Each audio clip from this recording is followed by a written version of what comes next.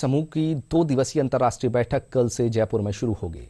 महिला ट्वेंटी समूह के अध्यक्ष डॉक्टर संध्या पुरेचा ने आज जयपुर में पत्रकार वार्ता को संबोधित करते हुए बताया कि दो दिवसीय बैठक में जी ट्वेंटी के 18 देशों की अग्रणी महिलाएँ शिरकत करेंगी। इस दौरान लैंगिक समानता, विश्व स्तर पर महिलाओं के आर्थिक सशक्तिकरण को बढ़ावा देने संबंधी अनेक मुद्दों पर चर्चा होगी।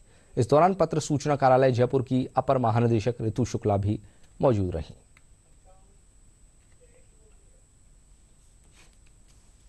लैंगिक समानता और महिला सशक्तिकरण के ऊपर W20 काम कर रहा है। W20 के पाँच प्रायोरिटी पॉइंट्स एरियाज़ हैं।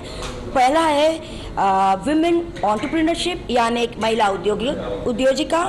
दूसरा है bridging the gender digital divide यानी लैंगिक समानता डिजिटल डिवाइड ना होना।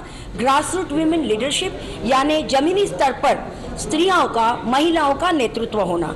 तीसरा है pathways through the education and skill development यानी एजुकेशन और विद्या और स्किल डेवलपमेंट के माध्यम से कौशल्य विकास होना। और लास्ट में है क्लाइमेट चेंज यानी जलवायु परिवर्तन के ऊपर चर्चा। सो so, ये हमारे पाँच प्रायोरिटी पॉइंट्स हैं और इसी के ऊपर विकास की कैसे बढ़े उस पर W20 में चर्चा होगी।